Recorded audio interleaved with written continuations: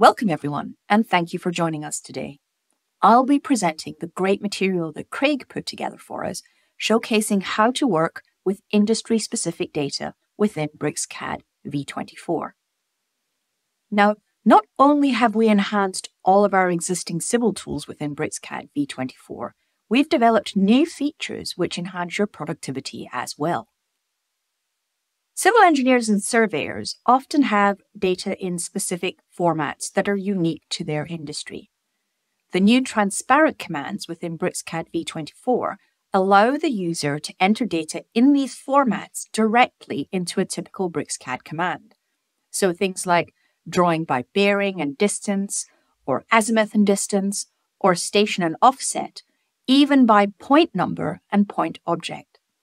Within this demo, we'll show you how to draw polylines and edit polylines using these new commands.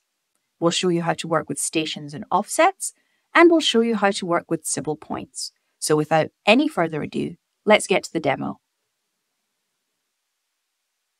These new commands are located on the ribbon Home tab in the Civil workspace and function within the line, polyline, or 3D polyline commands. It allows you to draw line work and use data with legal terms. So within the line, polyline, or 3D polyline command, select the desired starting point and then the methodology you want to use in this particular situation. For example, here we'll use bearing and distance which is pretty common amongst property deeds. You can quickly and accurately draw the described property.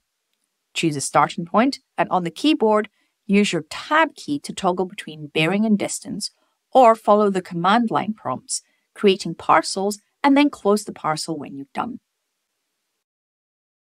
The same process can be used when drawing with azimuth and distance. Just use the azimuth command instead. Choose a starting point and then follow the command prompt to specify azimuth and distance. Notice how there's a red feedback line showing you what your next azimuth and distance command is going to look like. And again, just as with bearing and distance, close the parcel using the CL option. Objects can also be drawn by using a horizontal alignment, starting at a specific station and offset. Choose the station offset option and then select the alignment object you want to use. Type in a start station and then the desired offset using positive and negative numbers to decide which side of the alignment the line will be drawn on. Continue working and input stations and offsets, and then use the standard snap and trim tools to adjust your line as needed.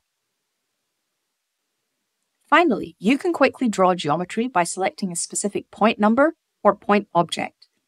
In the case of point numbers, select the point number option and type in the civil point numbers, as many as you need, and then close your polyline. With the select option, you can select civil point objects instead of typing them in. It's, it's just all up to you.